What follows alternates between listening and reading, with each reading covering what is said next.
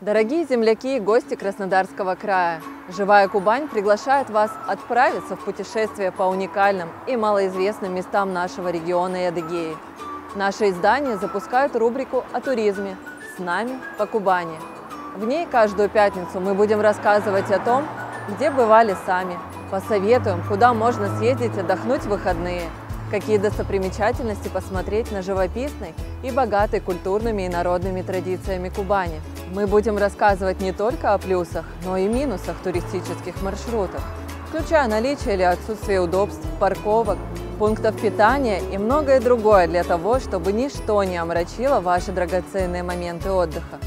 Поскольку сейчас в России наступило время развития внутреннего туризма, мы проверим на себе, насколько качественные маршруты готов предложить наш край.